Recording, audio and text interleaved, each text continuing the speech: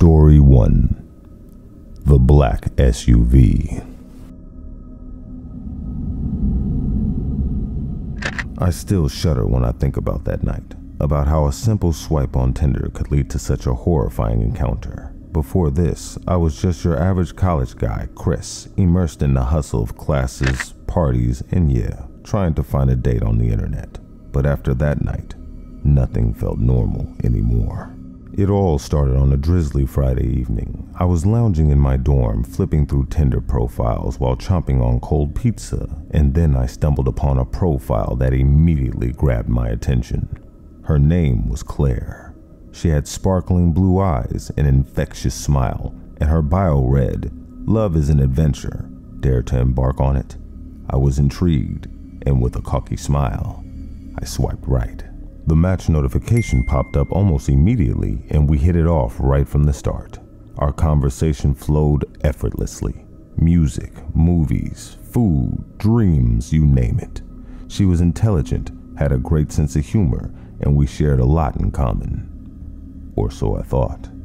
She asked if we could meet the same night, which was a bit unusual for the first date, but I was caught up in the momentum. We decided to meet at the coffee shop downtown. I threw on my favorite jacket, styled up my hair, and hurried off into the night, excitement tingling in my veins.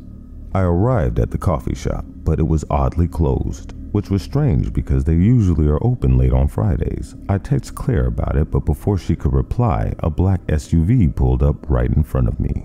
The tinted windows rolled down and there was Claire, except she looked slightly different than her pictures, more mature. Maybe she was wearing a dark coat and the blue eyes seemed intense in the dim light. Oh, I'm sorry, Chris, she said. My friend just called me with an emergency and I was about to cancel, but since you're here, why don't you join me? We can go grab a cup of coffee on the way. I stupidly agreed. I mean, she was right there, and I felt bad for her friend. Plus, I didn't want to ruin our date, so I climbed into the SUV. As we drove, Claire was quiet. Her earlier charm seemed faded, and her intense eyes never left the road. I tried to strike up a conversation, but her answers were short and distracted. An unsettling silence filled the car. The city lights gave way to a desolate highway, then to a creepy tree lined road. That's when my heart started pounding. We were driving into what seemed like a deserted part of the town, far away from the hustle and bustle of the city, far away from people. I asked Claire where were we going, but she only smiled, her lips curled up in a sinister way that didn't reach her eyes. Then, in a desperate act, I found a half empty water bottle in the cup holder, hurled it at her, momentarily stunning her and causing the SUV to swerve. In the chaos, I unlocked the door and shoved it open and jumped out, rolling into the cold, hard dirt. I staggered to my feet, wincing at the pain radiating from my shoulder, and started running, not knowing where I was going, but only driven by the instinct to escape. Behind me, I heard her screaming my name, but I didn't dare look back. I just ran until my lungs felt like they were bursting and my legs felt like jelly. After what felt like an eternity, I stumbled upon a gas station, burst in frantically explaining my situation to the clerk, who promptly called the cops. And when they arrived, they found the abandoned SUV, but no sign of Claire. It turned out that Claire was actually part of a notorious crime ring that preyed upon unsuspecting people. The emergency she had spoken about actually had been a code between her and her accomplice. I shivered, realizing I was likely to be their next victim, but I escaped. Barely. The police never found her. I stopped using dating apps after that. Every time I think about swiping right, I remember those intense blue eyes, the creepy deserted road, and the cold, sinister laugh that still haunts my dreams. I learned a lesson that night, a lesson etched in fear and a close call with a grim fate. Be careful who you meet online. You never know who's hiding behind those sparkling eyes and enchanting bios.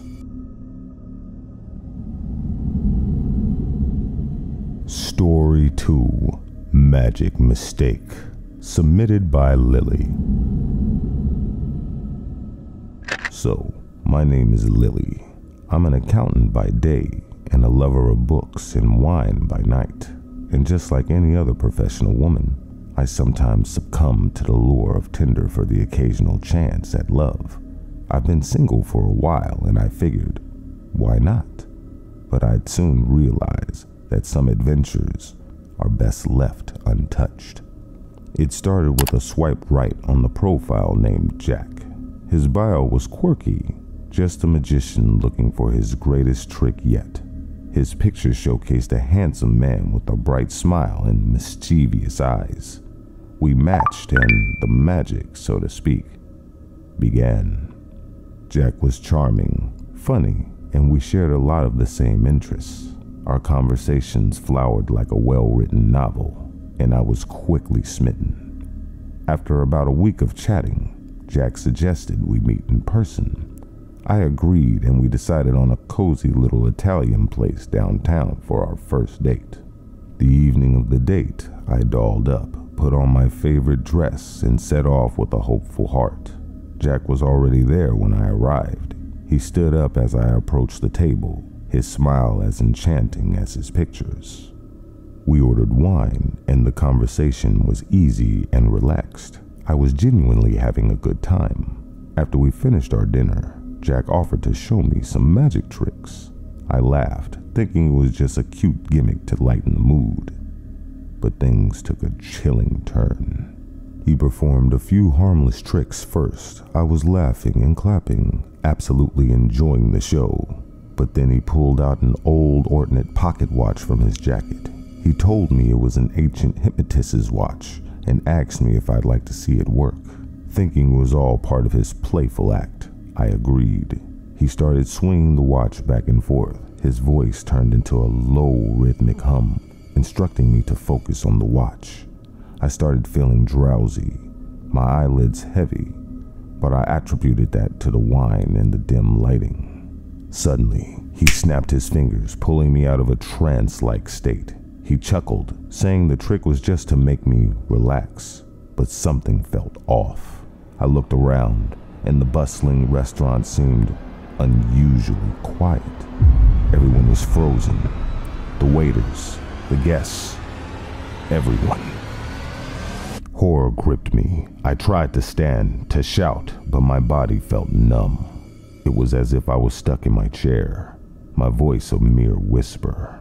Jack just sat across from me, grinning. His smile was no longer charming, but chilling malevolent. What's happening? I managed to croak out.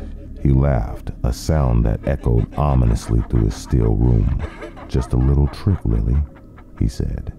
It's time for you to leave now.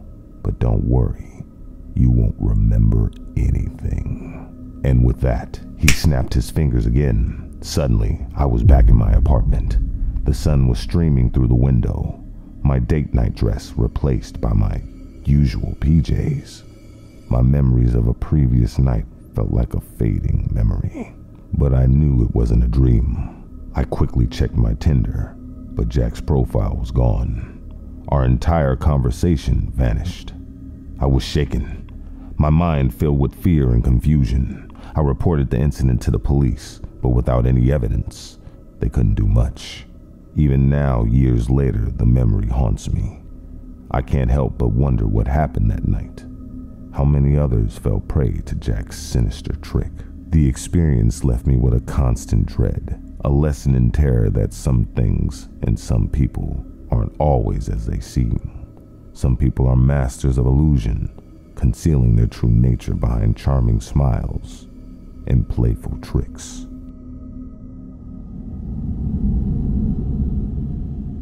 Story 3 The Unseen Stalker, submitted by Sophie.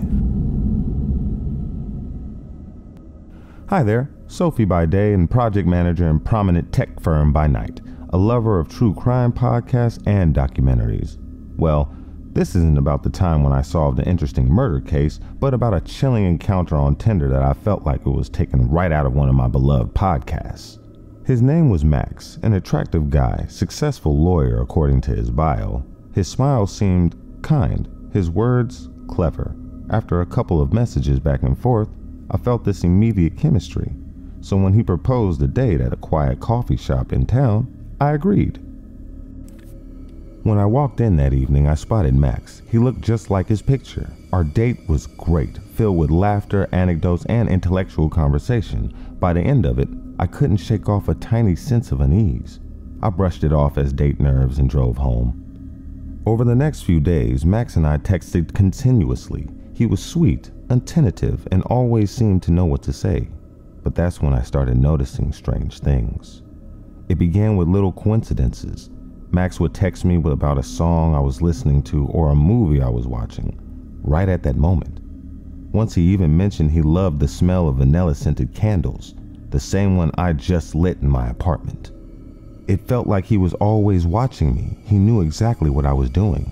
My heart pounded every time I got a message from him, the anticipation morphing into fear. I tried asking him about it, but he laughed it off as a lucky guesses.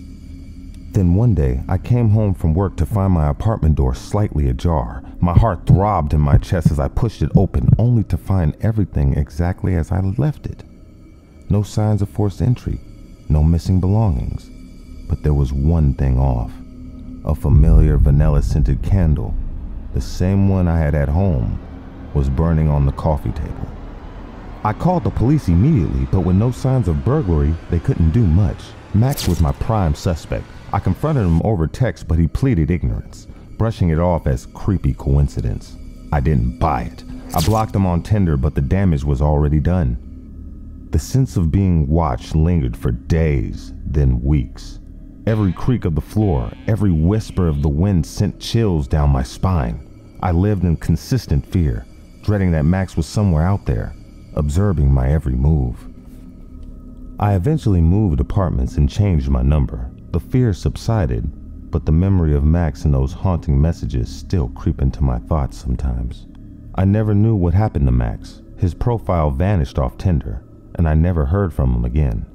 But his presence left a mark, a chilling reminder of potential dangers lurking behind charming smiles and clever words on dating apps.